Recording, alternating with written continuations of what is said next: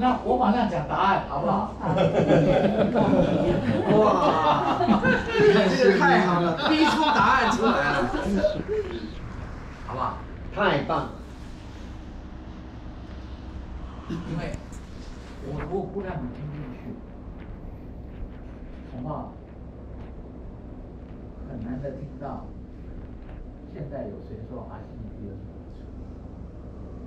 天理，你要不要讲啊？给你半分钟，不要回去啊。不是，我讲的不是答案了，你讲的才是答案呢。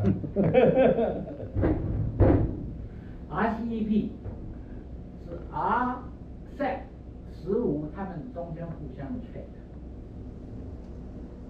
表面是把台湾排挤在外，不过它是 internal 十五国的 free trade。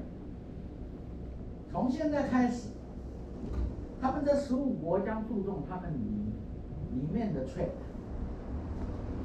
而放松了对外的贸易。那不就把美国、美洲市场就空下来了吗？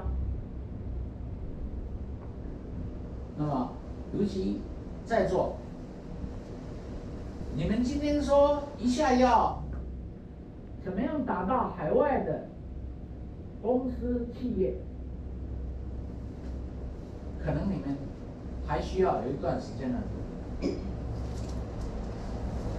所以，如果今天能做，而且是最有意义的，怎么样帮助台湾的企业能够化危机为转转机，那是最好。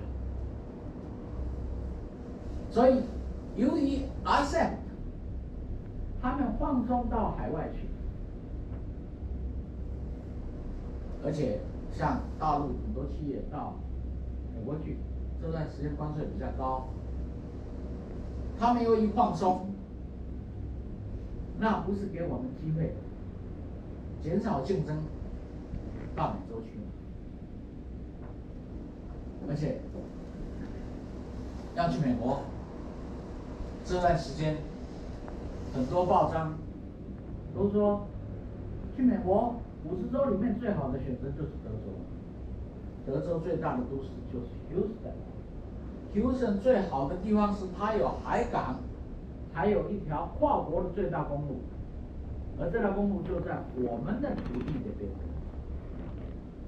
所以几个一一一一加在一起，我们是当然的第一。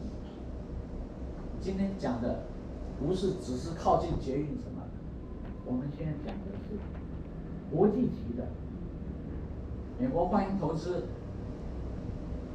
呃，到美国德州最好。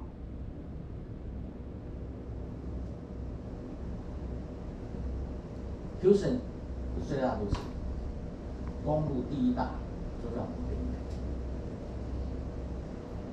那么，我要讲的是一个伟大的事业，要靠团队的力量。在座诸位，你们目前做的事业都比较个人级的，而我们打的是团队战、多人战，